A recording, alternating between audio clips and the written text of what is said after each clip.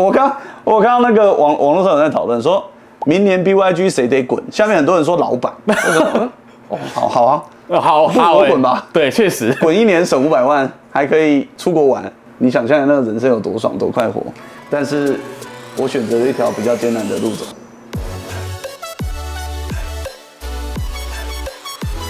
Hello，大家好，我是金哥，欢迎收看这个 BYG 战队二零二三年的这个年末 Q&A 总结。那我们就先问问题嘛。我其实有在 IG 收集了一些粉丝的问题，那我就看了几则比较大家比较常问的来问特哥这样子。为什么？其实大家蛮好奇，就说为什么我们今年夏季赛签了贝蒂进来，然后不继续用我们的种子，原本的 AD 种子嘛，然后以及这跟你当初说要培养电竞新人这个部分，好像有点落差。大家想了解这一块这样子。嗯，说到电竞新人，其实我们培育的非常多，只是养起来就会被人家买走。这是我们 BYG 战队目前的困境，就是我们的资本额不够啦。就在同一个联赛里，有 JT、有 CFO、有 PSG，甚至 FAK 这几个资本额，其实都是相较于我本人都是相当巨大的。其实我们只要把新人培养到一定的程度，就有很大机会会被买走。所以这时候我们面临的选择只有两个，第一个就是我们也用一样多的钱把这个人留住，但是这个人还算新人吗？就是我们已经养起来了，他算是 BYG 养起来的新人，但是他已经强到其他队要氪金把他买走了，所以你如果再花钱留他，那不等于也不是在养新人吗？我们要从一个拉一个陌生的脸孔上来打，那也就是我们平常 BYG 二二军的体系啦。哦，像像是今年的 AD 种子，春季赛的种子就是我们直接从二军拉上来的，然后还有我们二军的打野任野。哦，其实今年本来预计打算培育这两个位置，为了实现这个目标，所以我们的上中辅哦就必须得是有经验的人，因为一队不可能摆五个新人啊，你摆五个新人怎么打成一职业赛？那个一定是一半一半的啦。对，但是打野任爷就比较缺乏经验，但也不能说他不好，就是打野这个位置确实比起 AD 更需要经验。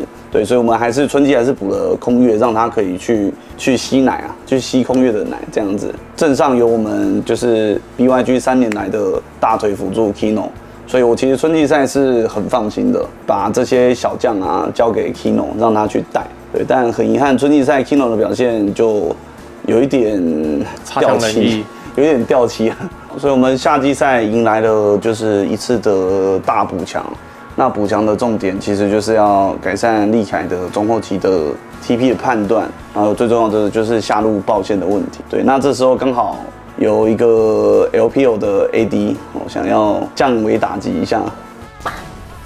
就是我们真的很需要一个完整的对霸，在他来之前，对上的对霸当然是空月啦，就空月会去讲一些有的没的，但是空月有一个缺点就是我在看他们一些比较大的失误的时候，我有把他们集合起来啊，就是开个会，然后我会跟空月说你这边不该怎么样或是怎么样，然后我可以明显的感觉到他知道这边是他自己的失误，但他就是不想低头，就是不想要认错，所以 Betty 来，我其实放下了大概一百万颗石头吧，就是对于春季赛队上的状况。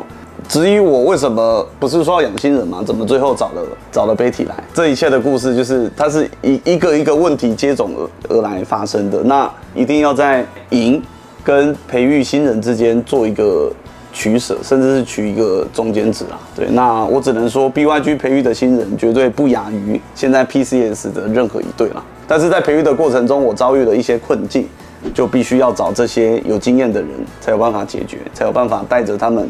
继续走进下一步。好，再来第二题就是很多人会问说，为什么今年 BYG 没有组建二队的打算？嗯，就是大家其实蛮多队都有组的，然后我们队没有组这样子。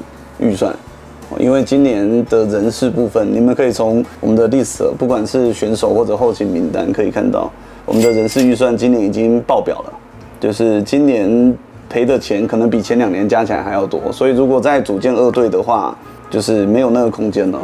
而且说实在，我这边补充一下，就是其实今年的次联赛，就是我们去年培养二队起来，其实我们没有一个常规的联赛可以让它曝光。就一队需要救火啊，就是没有人可以练的时候，就是会找二队练，比较像这样。去年的二队比较没有实际的舞台可以发挥。对，对，但是因为明年有次联赛，所以也许我们可以再讨论看看，是不是明年可以组建二队这样子。嗯，对了，如果人事成本压得下来，明天可能会再拉一个二队出来这样。那再来第三题就是，呃，其实蛮多人想要知道为什么我们打 PH 最后一把为什么选红方、不选蓝方？做不到，还是我们这边扣奥奶油扣澳奶油是不是是谁决定的？我们大家一起决定的。大家一起决定的。对对对对，最主要原因其实是因为嗯我们会认为，呃，大家没有一个主要提出我们要选红方的人嘛，总有一个人说，哎、不然我们选奶红方吧油就，奶油教练嘛，那就奶油嘛。嗯啊，选手为什么复议？选手也觉得选红方没有问题，原因就是因为我其实选蓝方最主要是 first pick 的问题这样子。那可是我们会觉得 first pick 在我们当下除了凯撒以外的话，我们没有太多的选择是我们所抢那就是角色池的问题嘛。对，但这这个其实每个队伍的风格或是理解不太一样。那我们我们会觉得我们选红方有两个角色，比如说我们可以一下把下路的双人线，比如说呃差瑞空选下来，那对我们来讲会比较有优势，所以我们当时选了红方这样子。嗯今年结束了嘛？那嗯特哥，你对明年的人事就是人事啊队伍方面，你有想要做什么调整吗？你是想问有没有人得滚吗？有对对，蛮多的是 我们要文明一点，对不对？这个我要解释一下。我虽然说有人得滚，是因为我看到了一些问题，就是彻头彻尾就没有改变。从春季赛开始，春季赛开始前就看出现的问题，我讲很多次了。然后到春季赛快打完了还没解决，然后还因为同样的问题输给 S 九 W 两次，就是真的是非常不可饶恕的失误，我才会在直播上这样讲啊。对，当然我自己情绪控管有点问题，这个我检讨，但是 有人得滚这件事情是我相信这个是公认的客观的事实啊。对，但是明年你说有人要滚吗？都打 PSG 打到第五场了，我觉得可以了啦。你觉得是至少是满意的？以结果论嘛，可以跟资本强大这么多的战队打到第五场，还差点赢，我觉得已经是可以了啦。可以感感恩感恩，觉得大家很努力啊，很辛苦。虽然最后的结局很可惜啦，对，因为现在就让队员放假嘛，不要给他们这么多压力，对，给他们放个假，然后再讨论看看人事要怎么做调整，这样。每一年特哥你这样烧钱就独自烧钱嘛，那其实大家都很担心你有没有办法再撑几年，还是说怎么样的？你有没有考虑引进外资或者什么的，让你自己不要负担这么重？这件事情其实是有点冲突的，因为我一开始下来做这件事情，我就是希望可以把它做到不亏钱，甚至是盈利。当然盈利有点天马行空啦，就是如果可以把它做到不亏钱，然后可以真的把它做得很好，那我觉得有机会吸引到其他的企业来投入这个圈子里，那我们这个产业才有壮大的可能嘛。对，但实际下来做之后才发现，你要做到不亏钱，真的太太太太困难了。就好比说，今年我如果没有买北体，没有买土龙，没有买空月，哦，用我们原来的选手，那我今年可能可以不亏钱，但是这将会是一支烂队，可能会在联赛的中游吧，我猜，甚至是中下游，就是季后赛可能一两轮就就就滚了，大概是这种水准。那如果我的战队只打到这种水准，我对得起那些支持我的赞助商吗？这是第一个问题。第二个问题是，如果我的队伍就是一支万年中游队伍，那还会有新人愿意信任我，还会有有潜力的新人愿意加入我们的战队，接受我的培训吗？这是第二个。那第三个，如果以上两件事都做不到，就是我没有办法给赞助商应有的好战机，我没有办法给新人应有的培训的环境，给他一个好的队友，给他好的这个指挥，给他好的好的营运的团队，那新人愿意加入我吗？如果这两者都不存在，那我建战队的目的是什么？所以这个这个建战队啊，养新人啊，烧钱啊，要花多少钱？这这三件事情一直在互相的拉扯，就是你知道吗？一环扣一环，所以到最后我得到的最终结论就是没办法，你要做到不赔钱没办法，只能自己掏钱出来烧。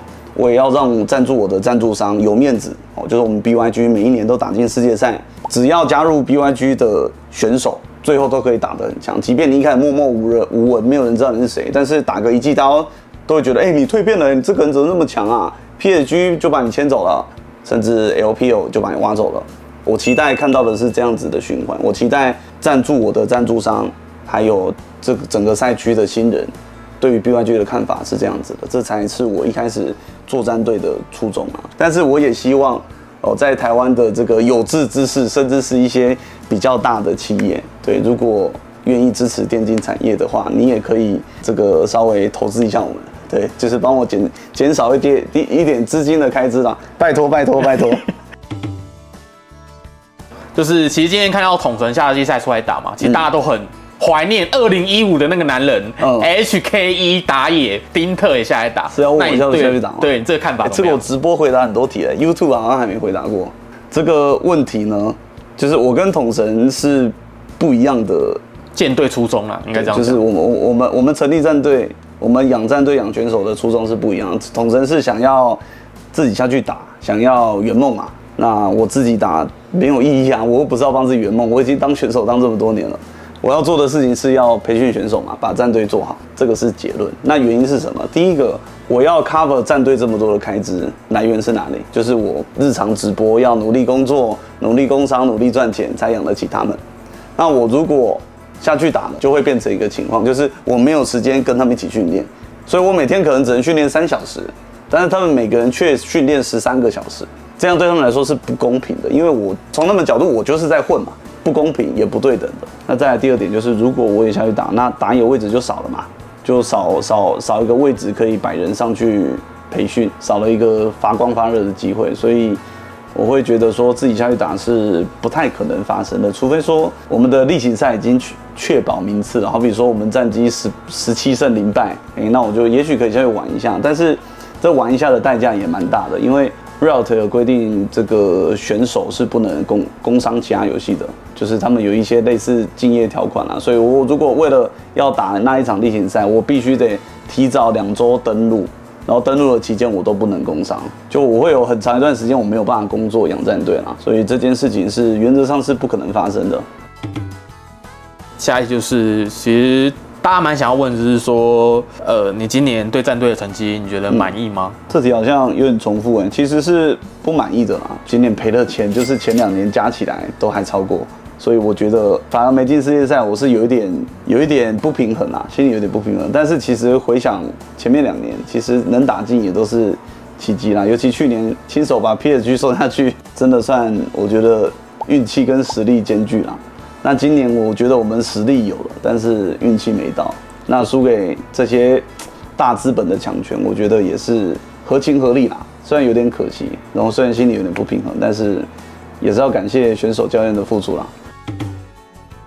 OK，那就最后一题。其实这也是往两两年前、两年这两年都有问的，就是问最后一题是快乐吗你记得今年快乐吗？今年其实算快乐，前两年都是不快乐。对，前两年都不快乐。今年虽然花了很多钱，烧了很多钱，但是我我我有稍我开拍之前有稍微看一下报表，就是预期大概是赔五百万啊。今年往年大概都是赔，我印象赔一两百万。那五百万，我其实在想五百万你知道吗？五百万环环游世界应该还有剩，然后我被绑在这边工作，然后还要被骂，其实应该要很不快乐的。对对但是你知道吗？快乐是比较出来的。因为前两年一样工作，一样一样怎么样，但是我觉得我还是很辛苦的把他们送上世界赛，还是算是称霸这个赛区。然后我会觉得我很辛苦把他们养到赛区的头了，然后也出国打比赛。虽然世界赛的成绩不尽人意，但是还是还是老话一句，世界赛遇到的队伍那个资本更是远远远远超过我们的，他们的选手月薪都是上百万的，我们的选手月薪是五万、八万、十万。怎么会？你怎么会期待我们的表现是相当的？我们应该要赢他们呢？就是世界赛期间真的受到太多太多负面的攻击，所以我会觉得前两年的过程是很不快乐的，尤其是我还花了非常多的心力。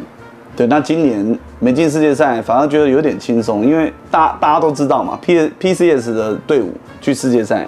大多数好，就过往的经历来讲，我不是要唱衰，好不好？我希望 PSG 还有 CFO 可以成功闯进十六强，最好进八强，再祝 LMS 二零一五年的荣光，好不好？但是就过往的历史看起来，PCS 赛区去世界赛都是就是去讨打的，就想想就觉得哦压力好大。哎，今年没进，反而觉得算了，也轻松啊。轻松一点。至少至少我们让二追三差点成功嘛，啊，差一点就拿到门票，其实很接近了啦。就是我觉得意识到了，然后加上杯体，夏季赛都有一个杯体，让我真的是，因为过往春季赛我的训练赛每场都会看，我会先看训练赛，再看教练怎么检讨。我一场训练赛我是看两次哦，一场训练赛我要做两次的 review，所以对我来说时间成本还有那个那个过程在那边拉扯，就是其实非常辛苦。但是夏季赛杯体来之后，这些问题都不存在了，因为杯体一来解决大半的问题，就是我平常在看那个训练赛的重播的时候，我不用再花这么多的时间，而且我会觉得杯体做的 review 会比我好，所以我也不太需要去插手去管他们的检讨这样子。所以整个夏季赛其实我是非常轻松，我就是跟有点像跟你们一样，就是当观众，就是躺着看比赛。虽然说我花了五百万，所以我觉得整体而言是快乐的，相较于前两年。虽然结局看起来好像很不快乐，但是我的心情是快乐的，心情快乐的，对，是轻松的。所以我们明年一定会在吗？明年一定会这样啊！明年真的不会解散？你你为什么这样问？我怕你今年打不进，你心态崩了，然后就没办法继续玩。是没有啊，但是看到那个财报，其实每年都会想，去年就想说，哇，这一两百万，我觉得五百万，虽然虽然你们听起来可能有点天方夜谭，但是相较于这五百万，其实我失去，我认为我失去更多的是我的时间成本，跟青春。你想象一下，我这些时间，我除了要努力工商以外，我还要去看着队伍，就是有什么状况啊，干嘛干嘛的。你可以问我，你前两年有进世界赛，我都可以跟着他们一起飞出国去玩，但我都没有去，我都留在家里工商。哎，你想象一下，你如果是你如果是我，你是一个这么期待世界赛的人，你当选手打这么多年，图的就是去那个世界赛闯一闯。然后你当了老板，你亲手送你的队伍出去两次，你可以跟着过去观光，去现场感受那个氛围，但是你最后都没去，因为你有经济压力，你必须在这边赚钱。我我会觉得，我与其我跟着去看，我不如在家多赚一点钱，明年帮你们找更好的教练，给你们更好的训练环境，对选手才是更好的。就是这这是我的看法。回头过来检视这件事情，就会变得很痛苦。就是我花的钱一年比一年还多，然后就算他们进了世界赛，我也没有办法跟过去玩，然后就变成一个很痛苦的区块。那如果没进呢？像今年你再回头看，其实回头看就会觉得很痛苦。虽然我现在心情很轻松，我就觉得哎，去年努力工作这么久，然后今年多花一点钱，然后赔了五百万，然后哎连世界赛都没进，干，就是其其实每一年都有都有跳出那种不如明年别玩了这种心态，反正对嘛那个。网友这么厉害，都嘴说谁谁谁怎么样啊？我刚我看到那个网网络上有在讨论，说明年 BYG 谁得滚？下面很多人说老板。哦，好好啊，好好滚吧。对，确实滚一年省五百万，还可以出国玩。你想一下，我管在队那些时间，再拿着那五百万都出国玩，你想象那个人生有多爽多快活？但是我选择了一条比较艰难的路走，这个这个是我每一年都觉得啊。要不要放弃了？选择一条轻松的路走。每一年其实都有这种增长啊，但是到最后都会觉得，唉，就是再坚持一下。所以你说明年战队还会在吗？我当然是跟你说在，我当然是想要坚持下去。但是会不会有坚持不下去的那一天呢？我也不敢说，因为这个你你你你们设身处地想一下，站在我的立场，你每一年这样回头看，你会不会觉得自己像白痴？你肯定会觉得自己像白痴吧？对，还还是谢谢大家的支持啊，谢谢大家的关注。那也希望有更多有利的人士，或者一些比较有经济实力、有行销预算的企业，也可以注资一下这个电竞的产业，帮助我们这个产业更加的活络一点啊。那这集就到这边，我们明天再见，感谢大家收看，拜拜。